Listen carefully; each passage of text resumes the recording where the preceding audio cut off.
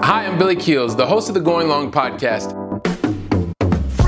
Every week, I'm going to be here interviewing the absolute best in the business as it relates to real asset investing, as well as real Main Street investors. We're going to be having conversations where you can listen in, and that's going to help you to continue on your path to education so that you feel much more comfortable as well as confident in investing long distance. So, make sure that you uh, that you go ahead and subscribe to the channel. Make sure that you're liking it as well, because that way you can get every single episode as soon as it comes out. And by the way, don't forget to leave today's episode a five star review. Let's go ahead and listen to today's conversation. Welcome to the Going Long podcast. We're back once again to continue to help to educate you so that you feel much more comfortable as well as confident investing beyond your backyard. I'm your host, Billy Keels. And if you've ever wanted to know how having someone on your team that has a knack for finding things like even lost earrings, how that person can be a powerful benefit for foreign investors that are interested in investing in the United States, then guess what? This is the conversation that you're going to want to listen to until the very last word, I promise, because today's guest not only is originally from Brooklyn, New York, he currently lives somewhere else, and I'm going to let him talk about that, but I'm super excited about it. He's also committed to providing the best professional services and solutions for your tax issues. He's the managing partner of the U.S. Tax Department at VBIR. He'll tell us what that's all about. And he's most importantly, he's the founder and the CEO of Kastner Tax Solutions. It gives me great pleasure to welcome to today's conversation, Mr. Kenneth Kastner. What's up, Kenneth? How you doing, man? All right, I'm doing great, Billy. Super pumped like you are. Oh man, I'm super excited. I, I mean, it's great to be able to pick back up uh, on a conversation that we started many months ago, and uh, and now you're here, and you're going to be sharing all of your knowledge with so many different people. And as we talk about here on the Going Long podcast, as you know, we really want people to feel comfortable and confident investing beyond their backyard, and that's really your sweet spot, especially those people that are living outside of the United States, as well as people that are in the United States that are interested in understanding more about U.S. based real assets and a lot of the different uh, tax things that are happening. And I just want to make this as an overarching statement, just for everyone that's listening to today's conversation. Kenneth and I are going to share some ideas today. He is a tax professional, but we are sharing ideas. We are not giving any kind of advice to anybody. So I think just before we even get in the conversation, uh, just to set the stage, Kenneth, because I, I mean, I love talking to tax professionals. Uh, you guys are awesome, and, I just want the Going Long family to understand that. So without me saying anything else, Kenneth, really quickly, you know, we like to ask everybody here, or at least I do, the same five questions. Going to start with two in the middle, two in the beginning, three at the end, and then you and I are going to talk in the middle. So the first thing that everybody wants to know is your question is a little bit different today, but where do you live? I live in a city called Beit Shemesh, which is in Israel, um, very far away from where I grew up in Brooklyn, New York, like you mentioned. Um, and uh, I've been here for the last 25 years. Um, and nevertheless, I'm doing US tax stuff, but for people living outside of the US. I love that, Kenneth. And that's why so many people are going to resonate just like me. I'm originally from Columbus, Ohio, and I've been over here in Europe now for the last 20 years by choice. And so, uh, very similar thing, and also helping people to understand more about the U.S. about the U.S. real asset market. So awesome. So thank you for sharing that. Then the other thing is, help us understand with some positivity, right? What's the most positive thing that's happened to you in the last 24 hours? All right, cool. Well, yesterday my kid's school had a parents teacher meeting day, you know, conferences and I was really fortunate to hear so many wonderful things about my kids from all the various teachers uh, in the school. So that's definitely the highlight of the last 24 hours. Oh, no, man. no question about it. Yeah, just you love being able to get that positive feedback around about the kids. It also helps you just to know that hey, look, sometimes all the things that we're doing, they're working, they're working. And so, uh, thanks for sharing that with us. It's uh, fantastic to hear that. So, Thing is, Kenneth, I've given a couple of very, very high level things about your story. It it would be impossible for me to do that kind of at the opening pitch and stuff like that. But I'm sure that people really want to understand, like, what's this whole earrings thing about? So, if you could do us a favor, if you could actually just share your backstory in your own words, help us uh, get a chance to get to know you more. And then if you could highlight maybe along the way, Kenneth, some of the different decisions that you've made and, and what has helped you to get to this point in your journey as a, as a tax professional, please. Okay, well, everybody always asks me, you know, how did you get into this, right? How did you become a CPA or a tax accountant? Why are you doing this? Um, so, like you mentioned, I, I always had like this uh, knack for for detail and you know small small details that people don't have any any uh they don't have patience for it, and and uh, and I think that's something that you know it's a little bit different for me. I'll I'll look for a lost earring until I find it. You know, I won't stop. You know, after you know people give up after one minute, ten minutes, twenty minutes. Um, you know, somebody sends a, a wedding invitation.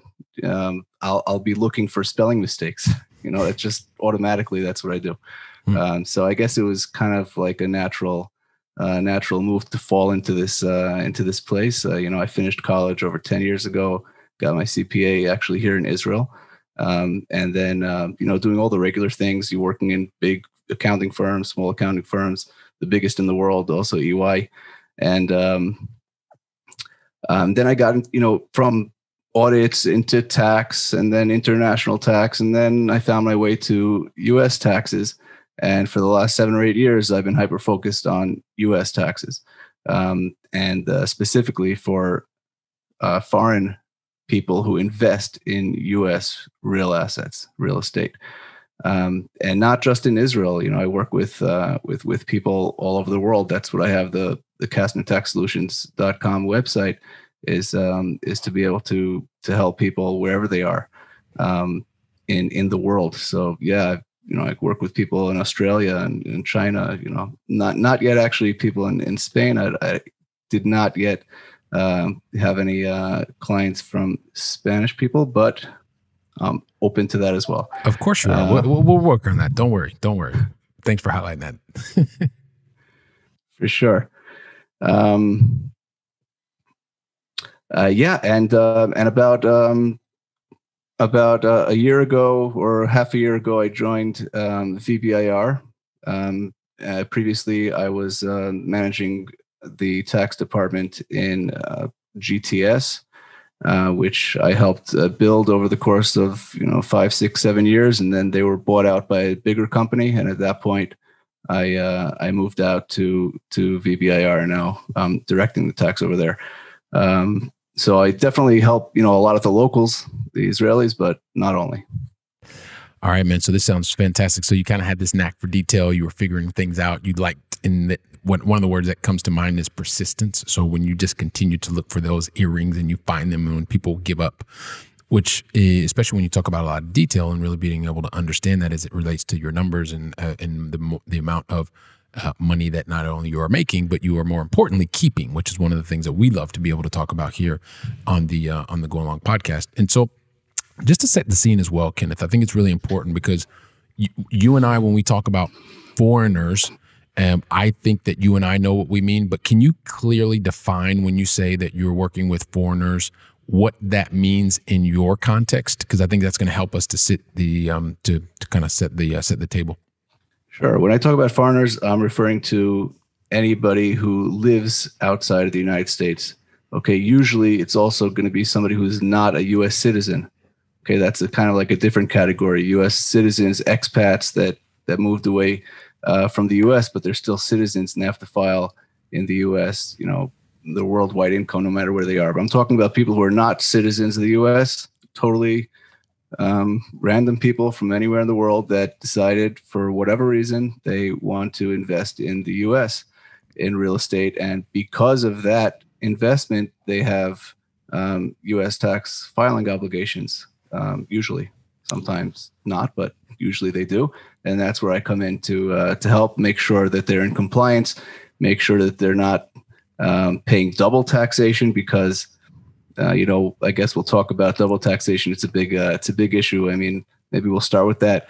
We have, um, yeah, you know what? Even before we go there, so and that's definitely one of the things that we're going to talk about because it's it's huge, and and um, I just want to make sure that we are crystal clear. So, because there's especially for those of us that are living outside of the United States. I mean, you and I we, we both talked about, and you can there are things that you can do with citizenship and change it and all that kind of stuff. But just as a basic premise is, if you have the U.S. passport, you are a citizen typically, right? I'm not typically just, I'm not, yes. Typically, I'm just simplifying it. Yes. And then if you are actually residing in the United States, you are a, a, a, resident citizen.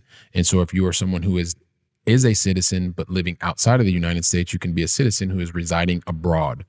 What you're talking about, and when we talk about foreigners, it is someone who is not a US citizen and someone who is not currently residing in the United States. Is that correct? That is correct. Um, just one one term that you mentioned: uh, people who are not citizens but living in the U.S. They're not uh, considered um, citizens. They're considered residents or uh, you know uh, resident aliens. Um, in, yeah. in you know the proper term, they're not necessarily citizens. Um, that's just you know Yep. No, technical legal. Uh, yeah, yeah, yeah. Terms, love it, yeah. love it, love it. That's exactly what you're doing here. You're helping to educate us, and that's what we're here. We want people to feel comfortable and confident, and we're educating them so that they want to be, you know, be able to do things beyond their backyard. So great. So we have that kind of as a as a base level foundation. So we, we have the the different. What we're talking about is someone who is a foreigner, and and so in this context, like like you yourself went down a certain path. Like you mentioned before you started in audit and then you went to tax and you went to international tax and then you went to US tax and then you were really focused on working with foreigners that are interested in us eh, investing. So maybe you could also help us now and just eh, help us understand like when you went down this path there was obviously a reason because you were looking to help people help to serve people in a certain way shape or form but what was it about your initial training and then what you started seeing that really made you want to serve this particular individual who is someone who's foreign who's interested in the US market? Well, we found um, at at around that time when I was, you know, in in uh, in EY, and um, around that time there were two senior managers at EY that decided to open up their own firm, um, that's what I mentioned before. GTS, a small firm that eventually grew and, and, and was sold out, and um, and they, they they wanted to bring me in um, to that you know that new you know startup, and uh, and you know coming from you know the biggest firm in the world to the smallest firm in the world, I had to be really convinced.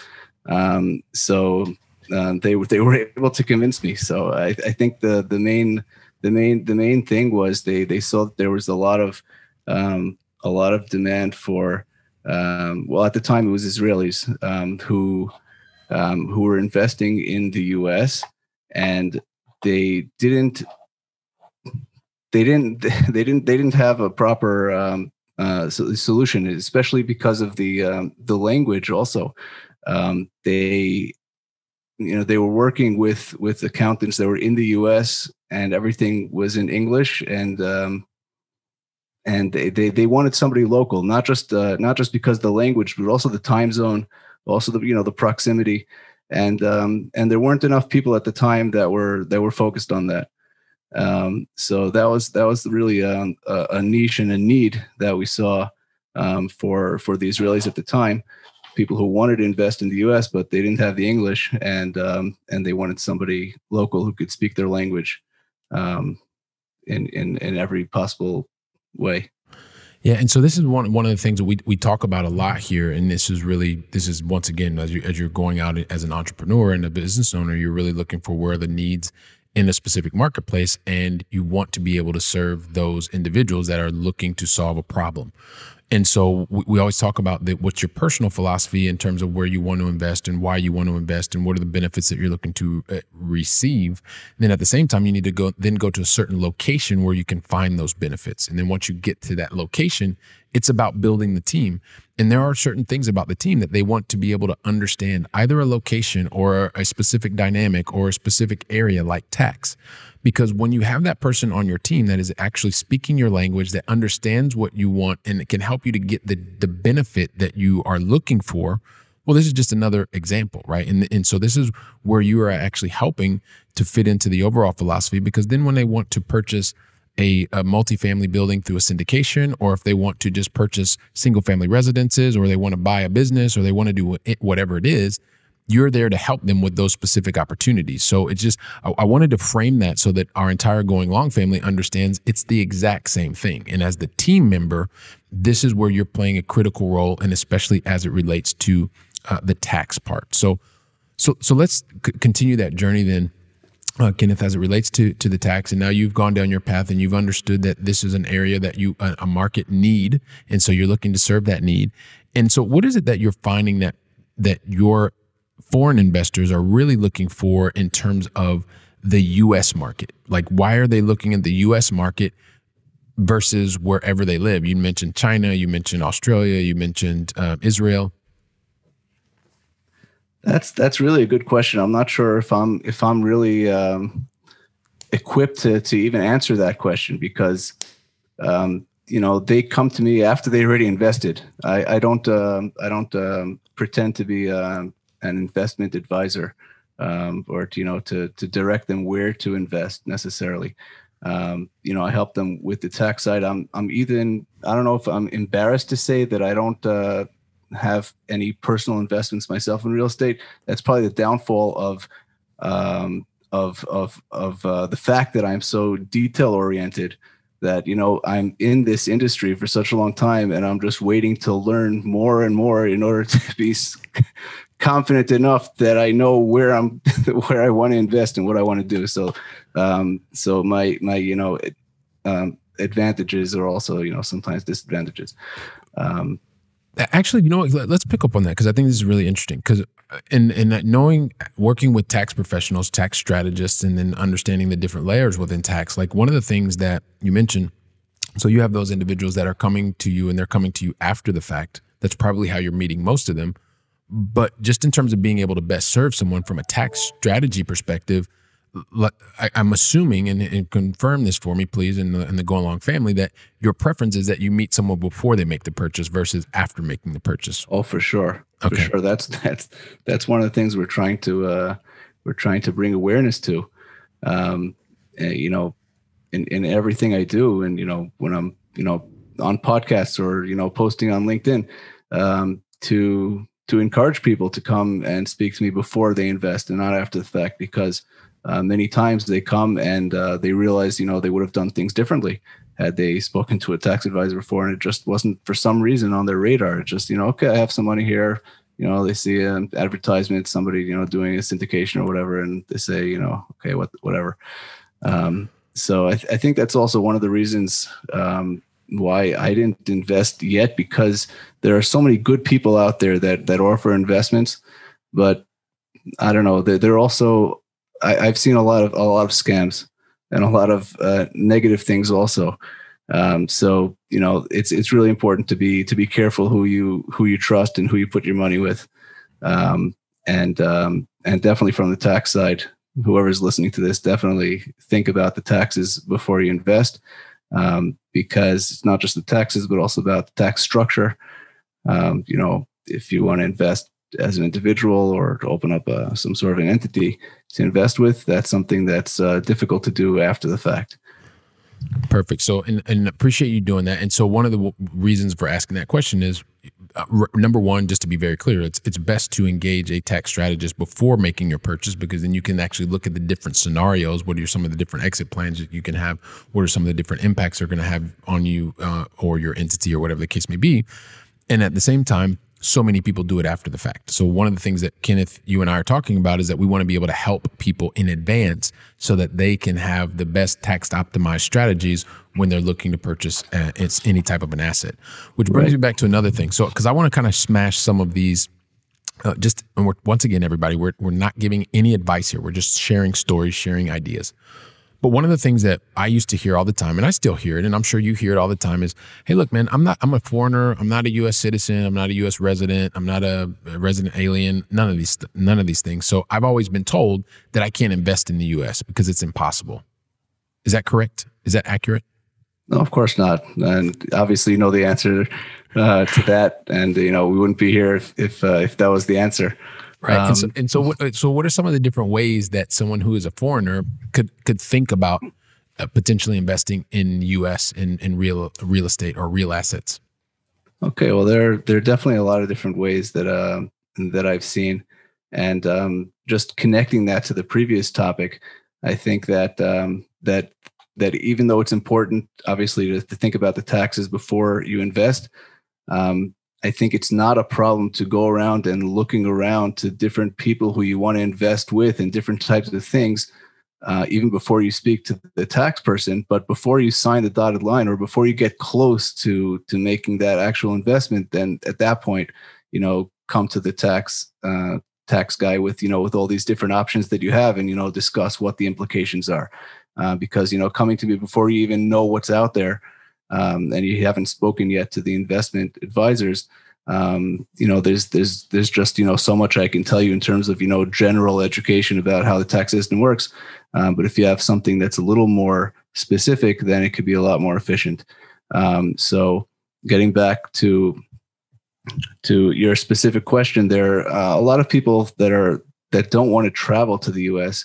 Um, essentially, they most of them go into you know partnerships and syndications, you know, big groups of uh, foreign people who um, who together invest in the U.S. through an LLC that is operated by someone in the U.S. and there's there's a there's a foreign representative that uh, you know that gathers the, uh, the, the groups of the investors, um, and that's that's probably the most common way that um, that most of the foreigners that I've seen um, invest, and that kind of structure is relatively relatively simplistic.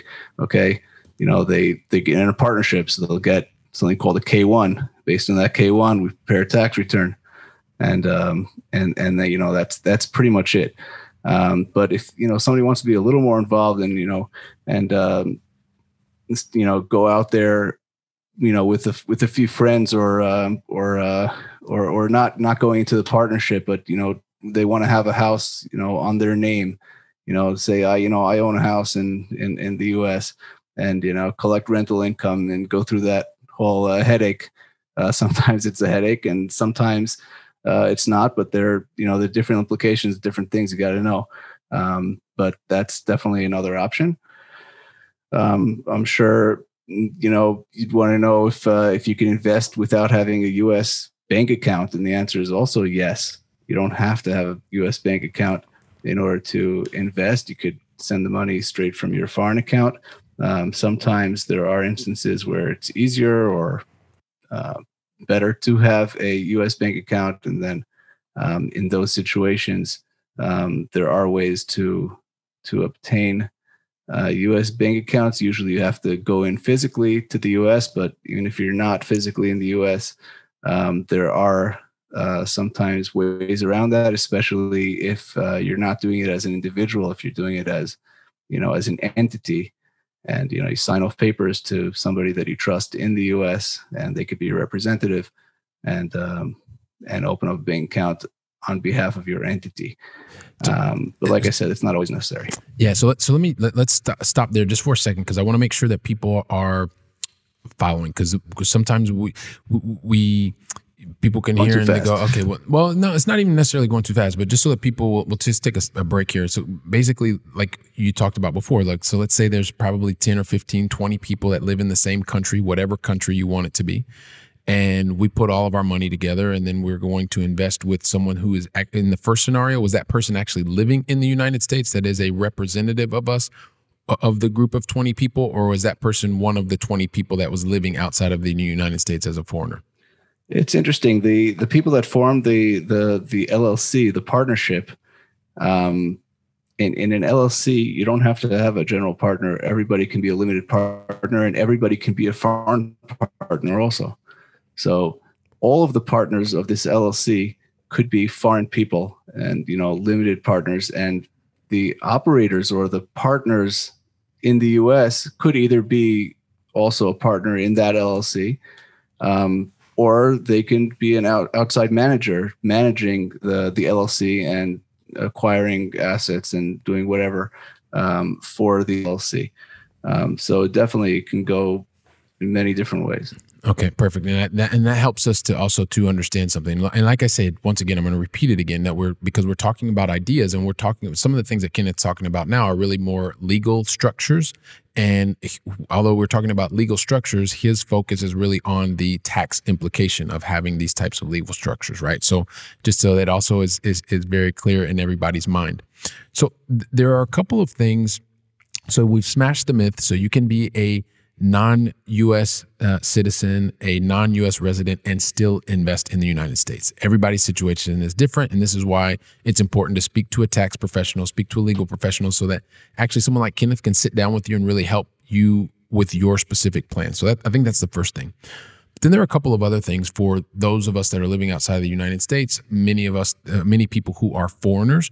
There are some other myths that I would like for you just to either well, we'll we'll just talk about some of the things. So one of the things that you mentioned in the very beginning is that you are going to um, well, we'll keep going down this path. So we'll you're investing in something. You're not a U.S. citizen. You're not a U.S. resident, and there's this thing that's called withholding tax. Like, what is withholding all about, and why is that something that is potentially important for someone who is thinking about investing in the U.S. as a foreigner, and how that could re- how well what what is what is withholding, and what is that? How would that potentially affect their returns? The way it affects it is uh, essentially cash flow. Uh, that's what it is, um, because the way it works is anybody who is not a U.S. citizen, um, the IRS doesn't want to chase people all over the world for their taxes. Okay, so anybody who lives in the U.S., they you know they have to file a, a tax return in any case every year, and uh, they're on the radar, and you know they you know there are other ways to uh, to reach them and to catch them and to do all that all that kind of stuff. But people who don't step foot in the US and they have investments and they have income from US source, the IRS wants to make sure that they're going to get their tax.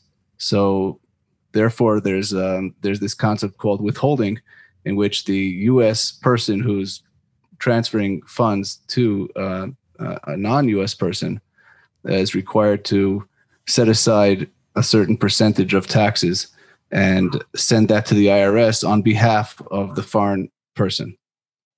Okay, and um, sometimes that um, that amount of tax by law is more than what the foreign person will have to really pay in the U.S. And uh, the only way to get back the difference is to file a tax return at the end of the year. Um, so this way, the IRS uh, makes sure that they get their tax because they're taking even more than what they need temporarily, and um, and once a year, the um, the individual, the investor, the foreign person, uh, will file a tax return and get back from the IRS um, any extra taxes that they were withheld from them.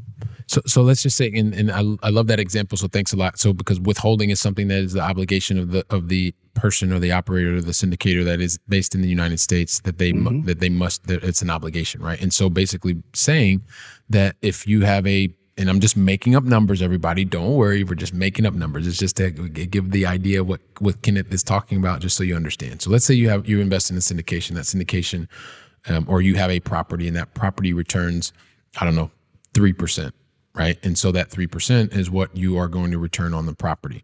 At the same time, you may have a withholding, meaning the person in the United States on that particular asset has to withhold 20%. And so I'm, I'm using extreme examples here, right? It, so they have to withhold 20%, but you're supposed to make 3%. And so the idea is, is that the IRS says, okay, as long as you go to your, if you do your filing, you may actually find that you had a, because of depreciation or something like that, it was a negative return and you will be able to keep the 3%. But the whole point is you have to go through the exercise of declaring your taxes in the United States. Is that would that be accurate or what would you what would you change in that example? That is very good. The only thing I would change is the the the point that you mentioned about depreciation is uh, that depreciation happens on the partnership level, not not on the the individual level. So the depreciation could actually lower the the the taxable income, um, even um, and, and, there won't be withholding because the withholding is calculated on the profits after depreciation. Um, so so that that specific uh, example um, wasn't 100% um, accurate, but the idea is true.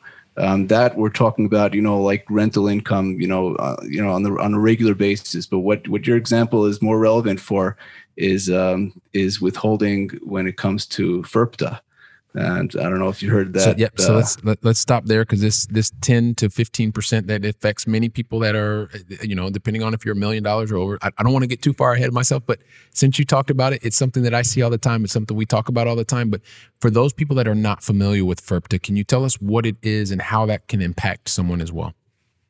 Absolutely. So FIRPTA is a law from 1980, I think. Yep. And uh, it um, basically basically says that when when a foreign person is selling uh, their real estate, okay, when they're selling the real estate, then the U.S. or not even the U.S. the buyer, the buyer has to withhold from that foreign person um, from that foreign seller, um, usually 15%, let's keep it simple 15% of not of the profits, but of the sales price.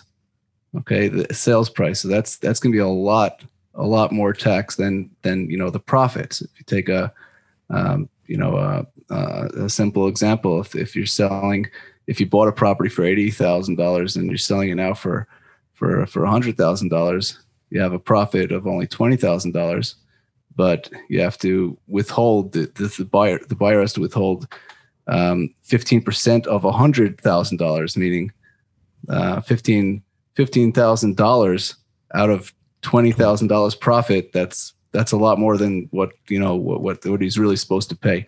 Um, so there's going to be a lot of um, a lot a lot of uh, a lot of taxes he's going to have to get back. Um, Why does FIRPTA exist? Why does FIRPTA exist? Oh, it's the same reason as you know the withholding in general. The IRS doesn't want to chase people um, all over the world, so they have a they have a handle on the U.S. person or the person who is um, who is um, who is buying the the U.S. real estate, and they say, okay, I want you to make sure that don't give don't give them the entire hundred thousand dollars now. Okay, just give them eighty five thousand dollars. Give me fifteen thousand dollars. Okay, because I want to make sure I, I the IRS want to make sure that I get uh, that I get my due taxes. And um, and if it's too much, then you know they'll come back later and they'll file a tax return and they'll get it back. Awesome. So once again, it's about being able to go th- about having the obligation to go through the tax declaration, right? And then afterwards, there's a there is the um, well, depending on how the numbers work out, you could get that money back, you could get some of that money back, or you may have to pay a little bit. But the, the whole point is, and you won't really know until you go through the declaration process, which is why the IRS, the Internal Revenue Service, doesn't want to chase people all over the globe, which was fantastic. There's one other thing that you mentioned before, Kenneth. I appreciate you helping to educate us once again because you're well, you're helping us to feel much more comfortable and confident, and you know, so we can invest beyond our backyard, especially for those people outside the United States that want to invest in the United States as foreigners.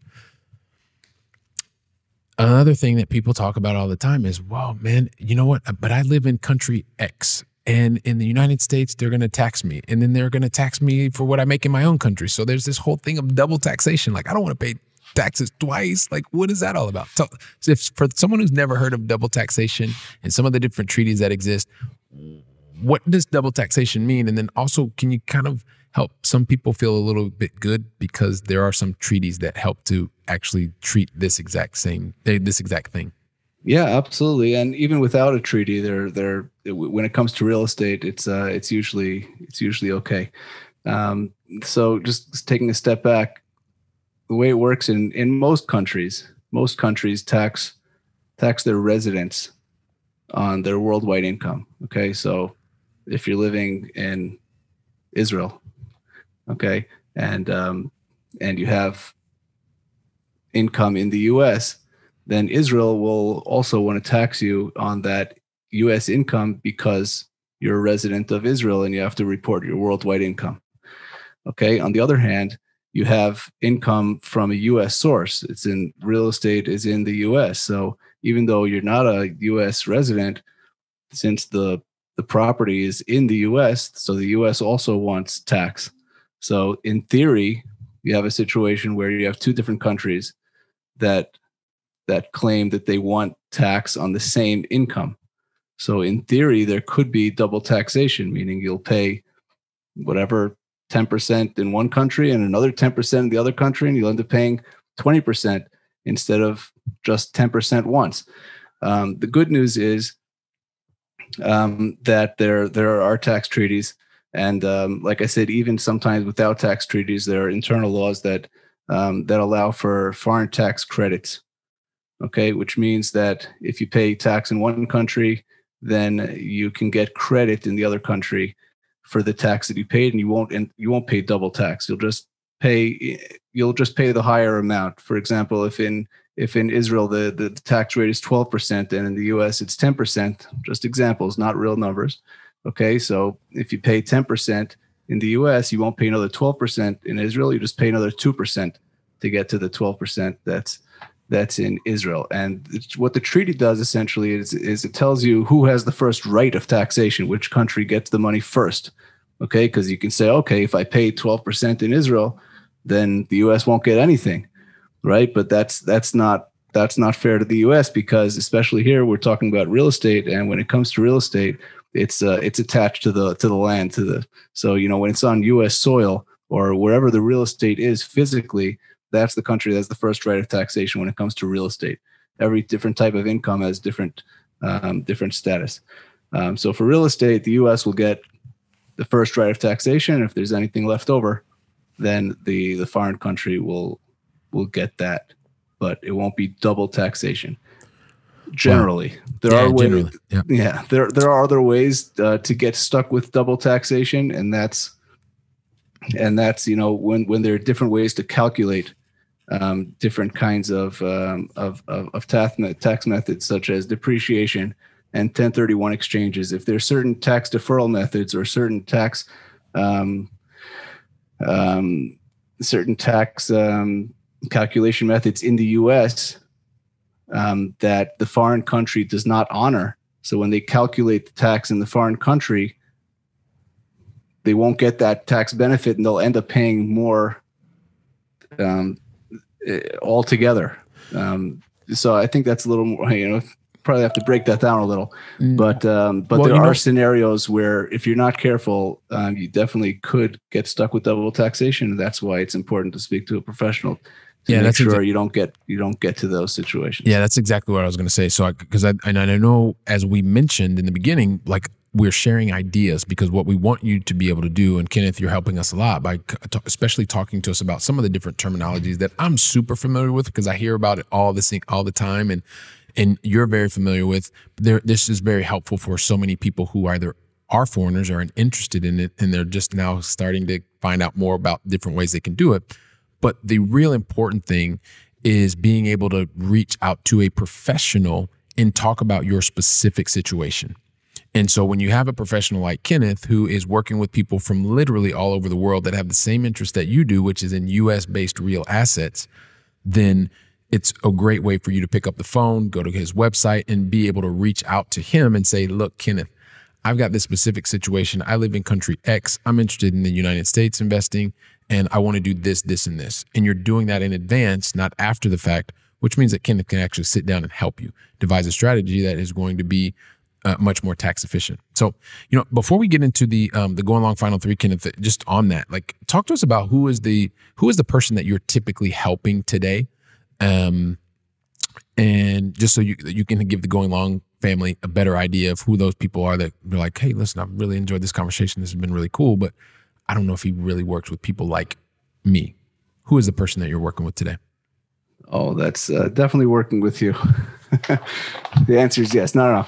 Um, there, there are definitely two um, two categories here. There's the there are the U.S. people, the U.S. operators that need help with the um, with with their foreign investors, okay and you know in terms of calculating the the withholding um, and and understanding what their obligations are and to make sure to do it right and obviously they're the foreign uh, foreign investors and the foreign syndicators or whatever you want to call them the operators um, that uh, that deal with the with the foreign investors individuals okay? We're talking about individuals or businesses. There are also sometimes you know businesses companies that uh, that also um, take you know their corporate uh, earnings and invest it directly in the U.S. It doesn't have to be an individual, um, you know, but anybody that's uh, that's starting out um, or already involved in uh, in in U.S. real estate after the fact, it's never too late um,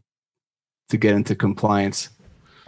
There you go. No, that's perfect. So that helps us to understand. So really, th- those that are operators helping um, those individuals that are foreigners investing in the United States, and then those foreigners that are outside of the United States wanting to get involved, and they probably start talking about things like Regulation S when they're doing different types of uh, uh, of um, of pooling of funds and things like that. And Kenneth can help you understand like what are some of those implications. Reg S stuff is really SEC, so we're not going to get into that, but it's more of the the tax the the tax uh, implications of those kinds of things. So thanks for helping us get clear on that, Kenneth. And I'm sure you're helping a lot of other people, but we got to get into the going long final three. And the thing is, I never ask anybody the going long final three unless you tell me that you're ready for me to ask you. So, Kenneth, are you ready?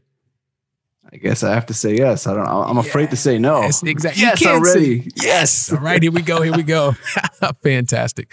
So listen, so we started um well, we started actually on this side of the pond and we're going to stay on this side of the pond today because would love to know what your favorite European city is, either that you visited or still on your bucket list to visit. Okay, it's interesting because I'm not a big traveler, so I don't have that many places that I can choose from. There's Everybody's got I- a bucket list, man.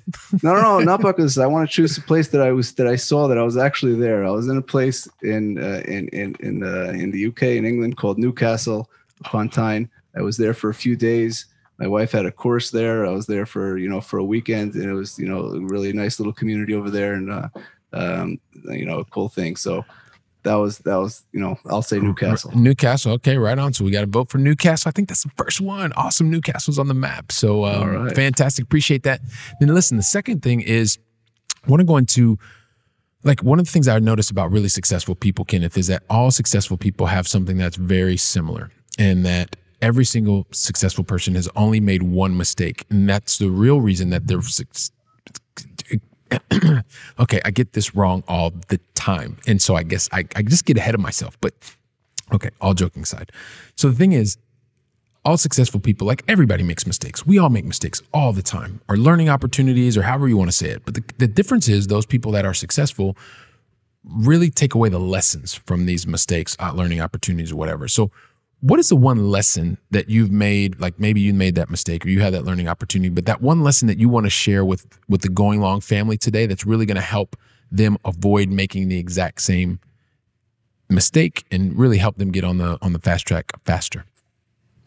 Okay, well, whenever I think about a mistake, I go back many years to when I was like 11 or 12 years old. That's it, it just still rings in my head. And um, I think the uh, the main the main lesson in in one word is don't be selfish. okay, I, I I don't think we have time to tell the whole story, but there was a, there was a time I was in little league, and um, I thought about myself instead of the team, and I regretted it immediately, and that's something that sticks with me. Um, you know, you can't just you know think about yourself. We don't live in a bubble. Um, you know, we live in a world with other people. So if you're not selfish, you think about other people, then um, then that's the way you're also going to be able to grow yourself and uh, and thrive. Love it, man. Don't be selfish. And yeah, we'll have to pick up on that little league story at a, at a different time. But uh, Oh yeah. appreciate you sharing that. And then lastly, man, we always want to fill everyone's brain or give them the option to fill their brain with knowledge. So, what is the one book that you would recommend to the Going Long family? Uh, I think it's the book that I'm going to write. Oh, I'm I'm going to write a book. I'm telling you, I'm, I keep telling myself I want to write a book about funny experiences with clients, but uh, who knows? Maybe it'll happen. I'm I'm actually not a big book person. If I have trouble falling asleep, I'll read a book. It works like a charm. Um, but um, I read I read a lot. I do read a lot, just not books. I read plenty of articles online, research tax laws when I need to. So my own real recommendation, if you want to, you know, put this down. I don't know if anybody else chose this book before. Is the Bible. the Bible. It's know, the it's bestseller, and it's full of life lessons. You don't Yeah, need you know any what? other book. It's amazing how many how many people have selected the Bible, and so we're going to add that into your show notes again. Um, we will we will we will we get that frequently actually. Oh, So- you do? Okay. Yeah, we do. Well, you we see, do, it's we a do, bestseller. I told Yeah, you. it- it is a best. It's definitely a bestseller. It's definitely a bestseller. so listen, man. So I'm I'm just thinking t- from our conversation, right? I'm thinking about how much you you've known that you love detail, and you we, we kind of joked a little bit about uh, you being able to find earrings and that patience and that persistence, and then you went down the audit trail, and then you went from the audit, and then you started getting into tax, and then international tax, and I know we talked about it before, and then that really U.S. based tax, and then you've you, you know you made a life decision. You left uh, Brooklyn. You went to uh, went to went to Israel, and you've continued to really focus on helping others that have a need in the marketplace, which was really to more know more about U.S. based real assets, right, or real estate. And so as you continue to go out and continue to educate and help people understand things like withholding and and double taxation and FIRPTA and all these kinds of things, like I'm sure that there are so many people that are thinking to themselves, okay, and he even works with customers like or clients like me. They're thinking, Kenneth, how do I get in touch with you, man? They, Like, tell me how I find out more about you. So, what's the best way for the Going Long family to find out more about you, Kenneth, what you do, and uh, what you're doing at Kastner Tax Solutions? The best way is to find me on LinkedIn. Just search my name. I I like to be active on LinkedIn, but even if not, you know, there's uh you'll be able to find me and DM me over there. You can email me directly, kennethdkastner at gmail.com. You can also go onto my website, kastnertaxsolutions.com. And um, there, those are the three best ways to find me and to contact me directly. And I'll happy to help anybody who wants to ask me any questions. All right, fantastic. And yes, you are um, you are on fire over at LinkedIn. And and one of the things I would ask Going Long family as you reach out to Kenneth when you do that, right? Because I'm recommending that all of you reach out to Kenneth and just explode his inbox. Um, that Go you that you definitely let him know that you were listening to him here on the Going Long podcast because that's going to help Kenneth just to make sure that he can know, okay, well, you guys were hanging out with Billy and da da da, and so he knows the conversation, and that's going to help you also too to make a better connection with him. So definitely pick him Absolutely. up on pick him up on on his recommendation, and, and that's I mean Kenneth and I are on touch via LinkedIn as well, and that's one of the reasons that he is here today. So. Um, so do that. And Kenneth, listen, man, I just want to say thank you very much for investing your time with me and the entire Going Long family today. Thank you so much. Oh, it's my pleasure. We've got to do this again. Yeah, sounds great, man. Sounds great. And listen, Kenneth, if you give me just a couple seconds, I just want to say, but like last words to the Go Long family. Sure. Um, listen, Go Long family, thank you so much for investing your time with Kenneth and I today. And listen, I mean, he left so much knowledge, very tactical knowledge that you can put into your overall strategy. He's made himself available. And, and, and the thing is, is this is a unique opportunity for you to really go out and make a positive impact on someone else's life. Someone needs to hear today's conversation. So just take your iPhone or take whatever phone you have and just share today's episode with two or three other people that you know that, that Kenneth, what he's talked about today can really help them. That way you can be the person of influence who's also helping other people and definitely will help to attract other people to the Go Long family. And that's one of the things we wanted to continue to do is build and grow our community and our family with other like-minded people. At the same time, I am going to ask you if you if you have your phone or whatever, leave us an honest review. Like I ask for honest review because this is something that really also helps us. What did you like about today's message? What would you like to hear more about? Because that's stuff we can share with Kenneth as well. Uh, and for me, I go through every single one of the reviews, and I want to continue to make this podcast and video cast even better for you. So definitely take just a couple seconds, literally honest review. Really, would really, really appreciate that. And then lastly, I'm really looking forward to welcoming you back on the very next conversation. So until then, go out and make it a great day, and thank you very much. Wow, don't you love hearing from top notch experts in the field? You know, when I was getting started, I really wish that I would have had access to such experts. And even more, I wish they would have given me like a really simple list of things to follow so that I could have gotten to my goals much faster and been much happier even sooner. So that's why I've created for you the seven things that you should avoid in order to be successful in long distance investing. And you can pick that up really easily by going to billykeels.com forward slash seven things to avoid. And also, if you like today's episode, don't forget to leave a five star review. I'm looking forward to seeing you on our very next episode, so go out and make it a great day.